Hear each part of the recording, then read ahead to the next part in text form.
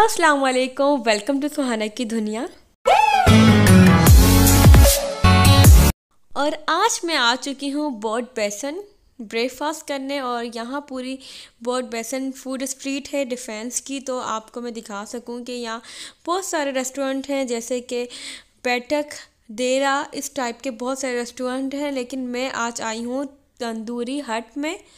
क्योंकि बोर्ड बसंत का जो सबसे बड़ा रेस्टोरेंट था, वो तंदूरी हट ही था तो इसलिए फिर मैंने सोचा कि मैं इधर आ जाती हूँ। और इनके दो हिस्से बने हुए, एक ही इनका इतना बड़ा सा होटल है, लेकिन इन्होंने मतलब उसको ना कंबाइन करके बनाया हुआ है, एक इस तरफ़ इस तरफ़, दोनों जगह इन्हीं की हैं। जैसे ही मैं इंटर हुई तो मुझे फ़ौरन से एक बात क्लिक हुई कि जो शनाई ड्रामा है, उसमें भी वो लोग इधर ही बैठकर ब्रेकफास्ट कर रहे थे। तो यहाँ इनके जो बाहर इन्होंने ना इस तरह से मतलब सेटअप किया हुआ है कि बाहर जिसको बैठे हैं वो बाहर बैठ सकता है। तो मुझे बाहर का भी इंतज़ाम बहुत अच्छा लग रहा था। और यहाँ पर मैं आ गई थी, आपको तो पता है, मैं सबसे पहले जाती हूँ जहाँ खाना बन रहा हो, देखती हूँ सफ़ाई से बन रहा है या नहीं। तो ये इन्होंने कहा कि आप बाहर से ही बना लें, अंदर तो अलाउ नहीं है। फिर मैंने, हम, हमने सोचा कि हम अंदर एसी में बैठ जाते हैं, क्योंकि अंदर एसी भी लगा हुआ था तो हम अंदर की तरफ़ बैठ वेलकम टू खाना की दुनिया तो आज मैं आ चुकी हूँ तंदूरी हट बहुत वैसन की स्ट्रीट है तो मैं आज आपको उसका फुल नाश्ते का रिव्यू देने वाली हूँ और मैं आपको मेन्यू भी छोड़ रही हूँ।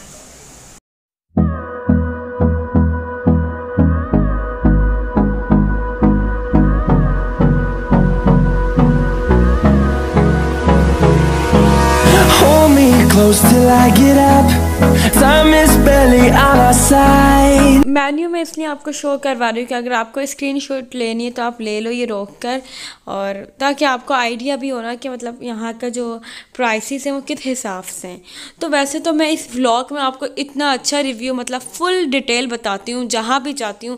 मतलब बिल्कुल ऑनर्स रिव्यू देती हूँ। तो मैं आज आपको ना बिल्कुल ऑनर्स रिव्यू दूँगी। आप बेफिक्र रहे मतलब व्लॉग देखकर आपको आइडिया हो जाएगा कि आपको जाना चाहिए या नहीं जाना चाहिए। आ जाए।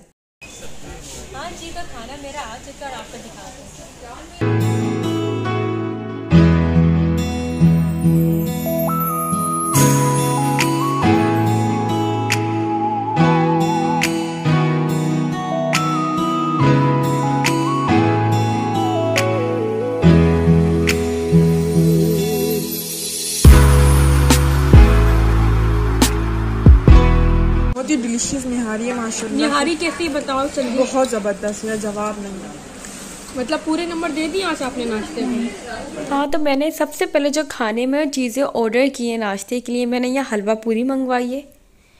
और मैंने मतलब यहाँ की स्पेशल चीज़ मंगवाई है, यानी चीज़ पराठा। मैंने उनसे पूछा कि आप मुझे बस ये बता दें जो यहाँ की फ़ेमस डिशेस हैं और जो सबसे ज़्यादा यहाँ चलती हैं। तो उन्होंने कहा कि आप चीज़ पराठा, यानी पिज़्ज़ा पराठा ट्राई करें। मैंने कहा, आप ले आएँ। उसके बाद उन्होंने कहा कि यहाँ की हलवा पूरी आप ट्राई करें। मैंने बोला, ओके, हलवा पूरी भी ले आए। और उसके बाद दो ऑप्शन आ रहे थे, एक निहारी का, एक पाई का। तो वैसे तो यहाँ मेन्यू देख कर आपने अंदाज़ा लगा लिया होगा, यहाँ बहुत सामान है। लेकिन मैंने यहाँ पे फिर निहारी ऑर्डर की। और मैं आपको अब आगे चल के ना फुल बता रही हूँ कि एक एक चीज़ का हिसाब प्राइसेस और टेस्ट वगैरह। मैं लाइन से शुरू करती हूँ। सबसे पहले मैं आपको बताती हूँ कि जो चीज़ पराठा था, उसके जो प्राइस थे वो थे फाइव फिफ्टी और वो फोर पीसेस थे। और मतलब मैंने अपनी लाइफ में हर जगह का चीज़ पराठा मोस्टली ट्राई किया है। लेकिन मुझे चीज़ ही नहीं नज़र आती हर जगह। इतनी इतनी सी आती है। लेकिन इनके पराठों में बाकायदा बहुत ज़्यादा चीज़ थी। और जो पिज़्ज़ा फ्लेवर था मतलब अंदर से ऐसा लग रहा था पिज़्ज़ा खा रहे हैं। मतलब बहुत ही आला था। मैंने इसमें टेन में से इन्हें टेन नंबर दे दिए हैं। और उसके बाद बात की जाए ना अगर हलवा पूरी की तो हलवा पूरी को मैं सिर्फ़ इनको सिक्स नंबर दूँगी दस में से। इसलिए क्योंकि जो इनकी हलवा पूरी थी, जो उसका हलवा था, उसमें जायका मुझे नहीं मिला। उसमें ना एक अजीब सी तेल की खुशबू थी। और हलवा पूरी इनकी एवरेज थी, जैसे नॉर्मल शॉप में होती है, वैसी थी। और मतलब कि, जैसे कि आपने मेरा एक व्लॉग अगर आपने नहीं देखा तो आप जाके देख सकते हैं, मैंने एक संडे ब्रेकफास्ट व्लॉग बनाया है। वहाँ स्पेशल सिर्फ़ हलवा पूरी मिलती है तो वहाँ का जो हलवा पूरी थी, वो बहुत लजीज थी। तो आपको अगर हलवा पूरी खानी है तो आपको मेरा वो वाला व्लॉग देखना पड़ेगा, कराची की सबसे बेस्ट हलवा पूरी उधर है। इनकी हलवा पूरी की एक मुझे थोड़ी सी ये बात भी गलत लगी कि इन्होंने ना एक एक सालन के प्राइसेस एटी एटी रुपीज़ अलग दिए हैं और पूरी के साथ सालन नहीं दिया इन्होंने। तो ये चीज़ भी मैंने कहा रॉन्ग है। प्राइसेस इनके ज़्यादा थे, मानती हूँ, लेकिन जब मैंने इनकी निहारी ऑर्डर की तो इतनी ज़्यादा लजीज थी, यानी कि मतलब मैंने बहुत सी कराची में निहारी खाई है, जावेद निहारी, और बहुत सी अलग अलग निहारियाँ खाई हैं, वो इतनी ज़्यादा हैवी होती हैं और वो ऊँट के गोश्त की होती हैं, लेकिन इनकी जो निहारी का जो मीट था, वो बचिया के गोश्त का था। मतलब वो बहुत ही ज़्यादा सॉफ्ट था और खाने में बहुत ही मज़ा आ रहा था। ना निहारी हैवी थी, जैसे आम कराची की दूसरी जगहों की बड़े बड़े रेस्टोरेंट में जाते हैं निहारी के, वो बहुत हैवी होती हैं। ये बिल्कुल हैवी नहीं थी और जो कुलचे थे उसके साथ खाने में बहुत मज़ा आया। और जब बात यही आ जाती है प्राइसेस की कि एक प्लेट निहारी की इन्होंने एट फिफ्टी की दी है तो बहुत महँगी थी। और जो पाए की एक प्लेट थी, वो फाइव फिफ्टी की थी, लेकिन मैंने बोला, मैं निहारी ट्राई करती हूँ, क्योंकि निहारी मुझे ज़्यादा अच्छी लगती है। तो मतलब इनकी निहारी अच्छी तो पाए भी अच्छे होंगे, लेकिन प्राइसेस बहुत हाई थे। और दूसरा सफ़ाई का मुझे तो कोई ख़ास ख्याल नहीं लगा।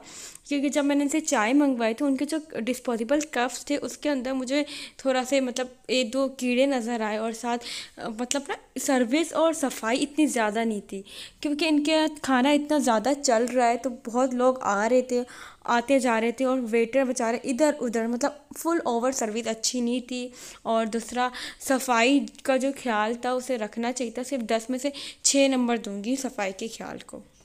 उसके बाद हमने पापा से कहा कि, पापा सी पोर्ट मनोरा सामने ही है तो हमें यहाँ पर ले आए आप। तो फिर पापा हमें यहाँ पर ले आए। तो फिर वही बात आती है कि जब मैं अपने पाकिस्तान को देखती हूँ, वहाँ की चीज़ें, यहाँ समंदर तो माशाल्लाह इतना खूबसूरत है हमारा पाकिस्तान। हर चीज़ है हमारे पाकिस्तान में। फिर भी मैं बहुत से लोगों को देखा है, पाकिस्तान की बुराई कर रहे होते हैं, लेकिन मैं कहती हूँ कि पाकिस्तान की अच्छाइयों को भी दिखाना चाहिए। जब मैं जा जा के हर चीज़ देखी मतलब हर चीज़ पाकिस्तान में परफेक्ट है लेकिन सिर्फ़ एक ही प्रॉब्लम है वो है सफ़ाई मैं सी पोर्ट गई मनोरा की तरफ़ गई लेकिन वहाँ सफ़ाई नहीं थी बाकी वो इतना प्यारा मंजर था अल्लाह की तरफ़ से बस सफ़ाई हो जाए तो बात बन जाए अल्लाह हाफिज़ अच्छा लगे तो प्लीज़ लाइक कर दें सब्सक्राइब कर दें आप लोगों की नहीं मेहनत करती हूँ अगर अच्छा लगे तो सब्सक्राइब कर दिया करें बहुत शुक्रिया अल्लाह हाफिज़